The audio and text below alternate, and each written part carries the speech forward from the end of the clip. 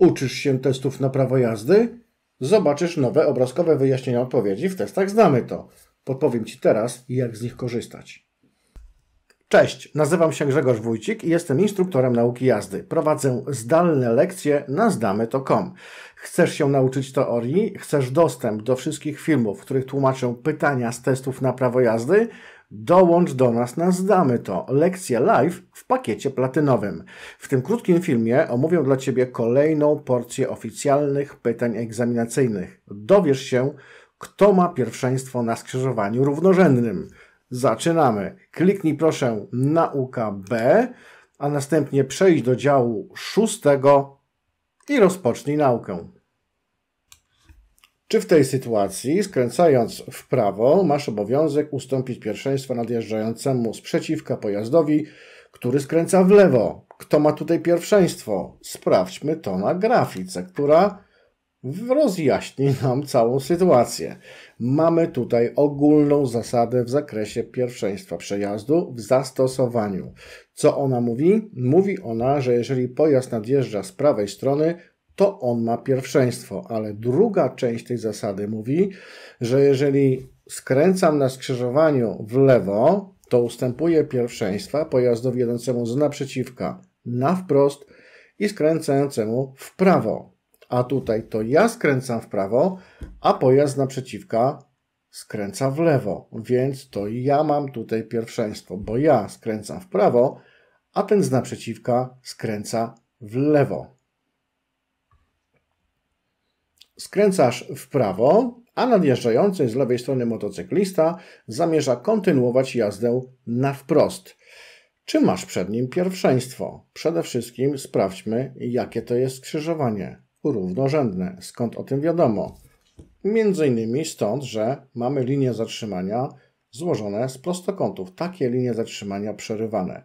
Ale sytuację rozjaśni nam ta grafika. O, teraz jest proste, prawda? Ogólna zasada w zakresie pierwszeństwa w zastosowaniu. Więc ja tutaj skręcam w prawo, a motocyklista z lewej zamierza jechać na wprost. Kto ma tu pierwszeństwo? Przede wszystkim mam motocyklistę po stronie lewej, a motocyklista mnie ma po stronie prawej. Co to oznacza? Że ja mam tu pierwszeństwo, bo wyjeżdżam motocykliście z prawej strony jedziesz na wprost. Czy masz obowiązek ustąpić pierwszeństwa kierującemu motocyklem? Jadę prosto i czy muszę pierwszeństwa ustąpić motocykliście? Łatwiej to będzie sprawdzić na grafice. O, teraz jest prosto. Ogólna zasada w zakresie pierwszeństwa znowu tutaj się kłania, więc mamy pojazd nadjeżdżający z prawej strony. Motocyklista. Ja jadę na wprost wszystko jedno, gdzie jadę, czy prosto, czy w lewo, motocyklista nadjeżdża z mojej prawej strony. A to oznacza, że nie ja mam pierwszeństwo, tylko ten motocyklista z prawej. Czy jadąc na wprost, masz obowiązek ustąpić pierwszeństwa pojazdowi nadjeżdżającemu z prawej strony? 4% osób wyłożyło się na tym pytaniu ty już się nie wyłożysz, bo za chwilkę Ci to pytanie wytłumaczę.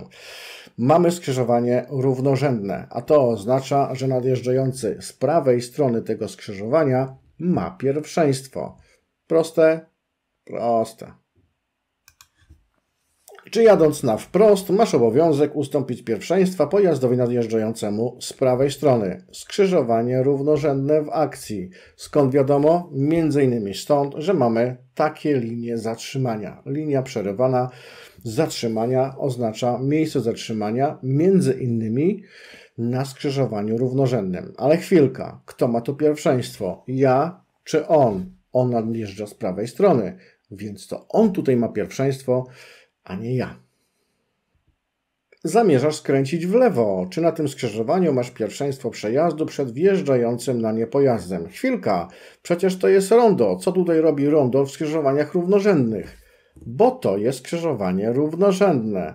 Jak to? No po prostu zwróć uwagę, że masz tutaj znak C12. Nie ma tutaj znaku, który ustala pierwszeństwo. Ten pojazd też nie ma znaku ustalającego pierwszeństwo, ustąp pierwszeństwa, ani ten. Tutaj nikt nie ma znaku, który ustala pierwszeństwo, a to czyni to rondo skrzyżowaniem równorzędnym. Co to oznacza? Że przepuszczamy pojazdy nadjeżdżające z prawej strony. Zwróć uwagę, że jeżeli wjeżdżasz na to skrzyżowanie i zamierza jakiś pojazd z prawej strony na to skrzyżowanie wjechać, to nie ty, tylko on ma pierwszeństwo, bo on nadjeżdża z prawej strony. Zatrzymujesz się, wpuszczasz ten pojazd i dopiero potem dalej możesz kontynuować jazdę.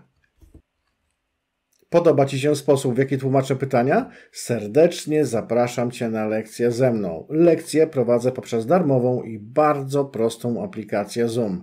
Jak dołączyć? Szukaj linków w opisie do tego filmu. Życzę Ci owocnej nauki i powodzenia na egzaminie. Cześć!